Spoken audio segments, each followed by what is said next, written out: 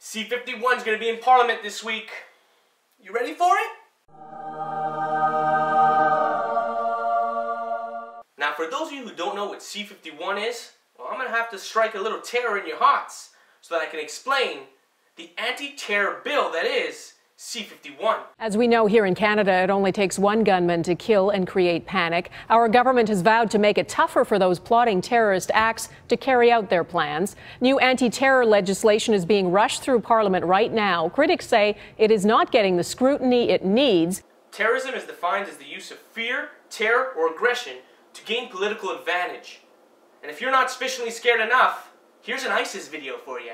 We are coming and we will destroy you. You're still not shaking in your boots? Well, what if I told you that some of our women are leaving to become ISIS brides? Currently, we are not able to prevent a high risk traveler from boarding an airplane. Blaney says that's why the government's new anti terror laws are needed, insisting there's no time to wait. These topics should strike such fear and terror in your hearts that you should be willing to give away all your liberties in a moment's notice. Why wait? Let's rush. Fact of the matter is this, ladies and gentlemen, that the international jihadist movement has declared war. Now, as Canadians, I think we've seen this political theater play out before in America, where terror was so great that they had to pass the Patriot Act radical ideology of hate. Terror of threats. Terror. Terror. Terror. War on terrorism. War against terrorism. Global war on terror. Some would say it wasn't the best route to go. But Canada is definitely going to try it, and it's not going to come without its opposition. It's simply reckless and irresponsible to try to ram it through. The opposition wants a vigorous debate, but will likely get just three days for a committee to go over the bill. Not enough, according to this constitutional lawyer. This is the most fundamental rearrangement of our national security architecture since uh, the post 9 11 reform. So I don't understand what the rush is. We have a former prime minister warning us about C 51 and not to rush the bill. I'm worried about the bill, not least because there appears to be a determination to rush it through Parliament, and I don't have the impression the government is prepared to uh, to consider amendments, including regarding accountability. We have the Privacy Commissioner, the Privacy Commissioner, the Privacy Commissioner telling us this bill might be a little bit excessive. Uh, the picture that emerges is uh, that uh, national security agencies have very broad, intrusive powers of surveillance. They can profile people. And I ask, is this the kind of society we want to, to live in? And we also have everyone's favorite Canadian, David Suzuki, saying that Bill C-51 could paint environmentalists as terrorists. Now, why would he say something like that? Newly leaked RCMP documents refer to some environmentalists as a threat to Canada's security. The intelligence assessment describes some anti pipeline and anti oil sands activists as violent extremists. As Margo McDiarmid reports, that has some groups worried they'll become targets of CSIS surveillance under the government's new anti terror bill. Secret RCMP documents warn environmental groups are trying to disrupt the petroleum industry and could break the law. The January 2014 report lumps all groups against the oil industry together, describing them as a highly organized and well financed anti Canadian petroleum movement. The anti petroleum movement? Is it as well financed as the petroleum movement? But environmental organizations worry their legitimate concerns are now labeled a security threat by police. It's basically saying anyone who's ever signed a, a petition against a pipeline can be viewed as a potential extremist. Some of the radical groups uh, in Canada. The federal government has used similar language in the past, calling environmental groups foreign funded radicals who want to destroy the economy. We must take further action.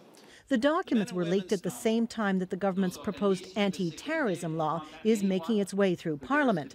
That law makes it illegal to interfere with any critical infrastructure or the country's economic stability. Now, these are concerns that shouldn't be taken lightly.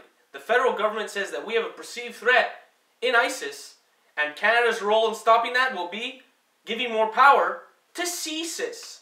ISIS? CSIS. ISIS? CSIS. C51 creates two new laws and changes 15 others. Critics say the bill gives Canada's spy agency CSIS more powers without more checks. It allows government agencies to share your personal information more easily and maybe even with a foreign country, and broadens the definition of terrorism so much that free speech and protesters could be at risk. Now I'm scratching my head trying to think of a time where secret police was a good thing, but I can't come up with it. And this is going to be, unfortunately, uh, the reality of the world that I think we're living in for some time to come, and we're just going to have to face that head on and deal with it. Okay, let me try and let me try and understand this here. There's terror out there in the form of terrorists, and we need a new bill to prevent this from happening. And there's no time because there's terror. Terrorism, terrorism, terrorism, terrorism, terrorism, terrorism, terrorism, terrorism, terrorism. The evil terrorists. Now, I think it's pretty clear to those that have been following this story that we shouldn't rush a bill like C-51. If this is truly an anti-terrorism bill, wouldn't it be counterproductive if we rushed into this because of fear and terror, rather than taking our time and consciously and rationally making the right choices? Terrorists, terrorists, terrorists, terrorists, terrorists. If we allow the fear of attack from terrorists to enter our parliamentary decisions, we will cease to have freedom, and we will be trading in that freedom and our rights for a false sense of security.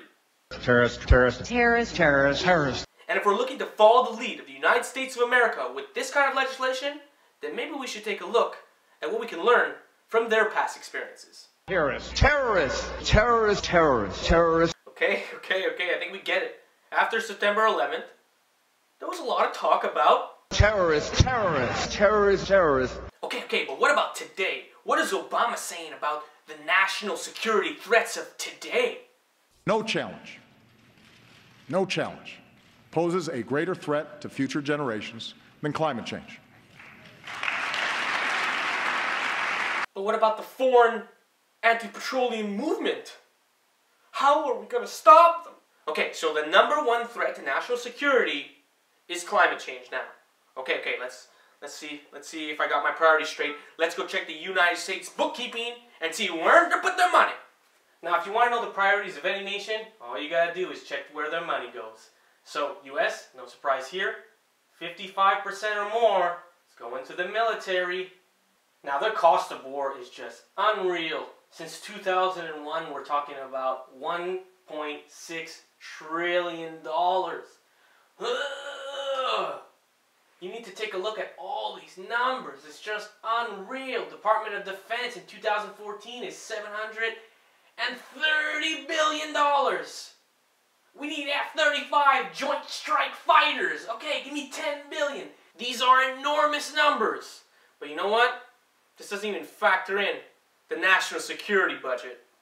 After September 11, 2001, the Homeland Security was created and hundreds of billions of dollars was poured into this thing.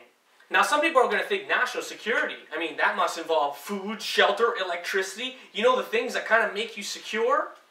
No, they don't. In fact, I'll show you those numbers. Here's the numbers on education, environment, foreign aid, housing assistance, and nutrition and medical help. Well, as you can see, they don't even add up to the national security budget. And as Canadians clamor that we need to put more money and emphasis into things that matter, like the environment and climate change, our federal government has decided, hey, why not follow the proven method that is the American model? Right now, we are looking at the Utah Data Center for the National Security Agency. This thing cost $1.5 billion and is the NSA's prime headquarters for processing all communication information such as phone calls, texts, and emails. The only question is, is it working? Are they catching terrorists? It just so happens that every time the FBI seems to catch a terrorist, they seem to be involved in the plot.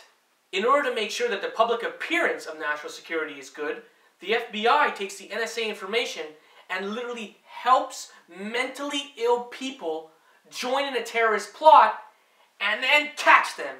And that's why national security in the United States costs upwards of $800 billion.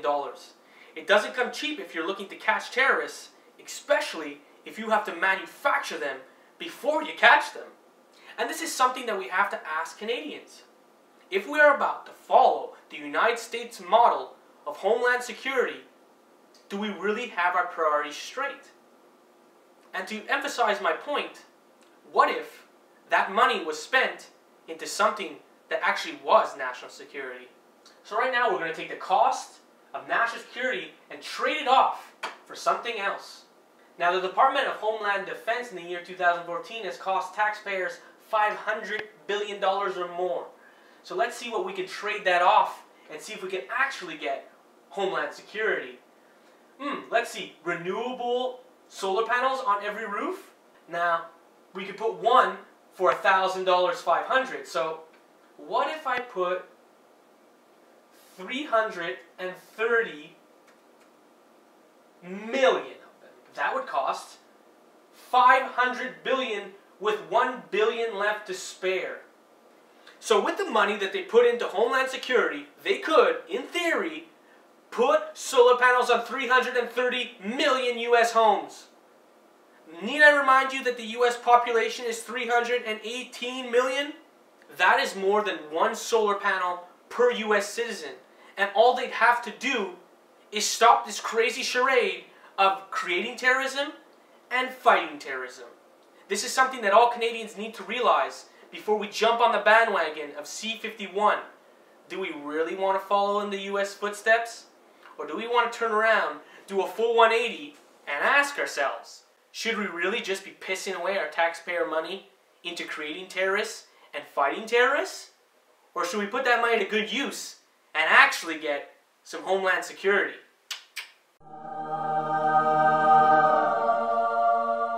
Want to keep up to date with the daily uplifting info, simply scroll on over to Facebook and give Val's page a like.